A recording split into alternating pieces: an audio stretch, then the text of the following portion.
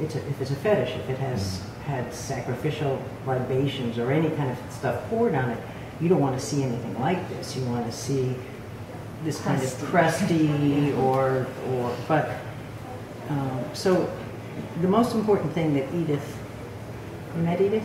No, but I know about Edith. Right. Um, the most important thing that Edith said to me about tribal art when I was asking, like everybody was asking, how can you tell that something is old? She said, Bobby, you have to know how pieces were used. Mm-hmm. If you don't know how it was used, mm-hmm, mm-hmm. you're you're just flailing around hoping that the person who sold it to you is being honest. So um, the difference between dealers who sell reproductions and dealers who sell authentic stuff is partially the, the depth of their pockets, but they know what they're looking at. And just like anything else, like playing the guitar or speaking French or anything, it comes with 10,000 hours of practice. That's how you get it. So knowing your stuff is knowing your stuff, and there's no substitute for it. Right. For most collectors who don't know their stuff, after that, you're looking for a reliable dealer, or you're looking for the big auctions mm-hmm. because you've got their reputation. So when you see the stuff that I've bought in the cases at Hamill Gallery, there's always the provenance. There's always which dealer I got it from. That's the proof in the tribal art world. It isn't actually uh, all it, all the time. It doesn't work. There there are fakes around Yeah. but um, either intentional or not. But the provenance, when it says bought from James Willis, for example, in the U.S., or uh,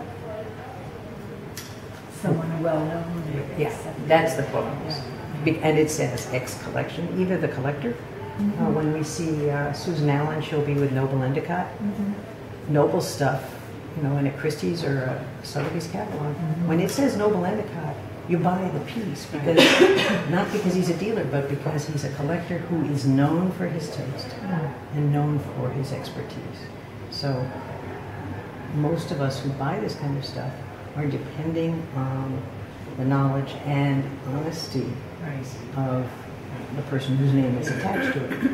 And then you have a whole class of, of art, Bible and otherwise, where the cost and sort of the, the spirit of the piece is because somebody famous owned it. Mm-hmm. So if it was owned by some movie star, there was a there was a Baga snake that was sold at Sotheby's for a ridiculous amount of money, given the piece.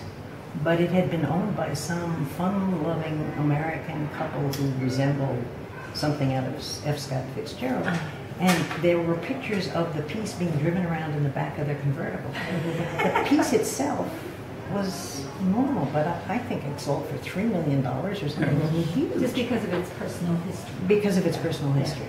And whether that's going to make any difference in 150 years when nobody knows who those people are, that's less less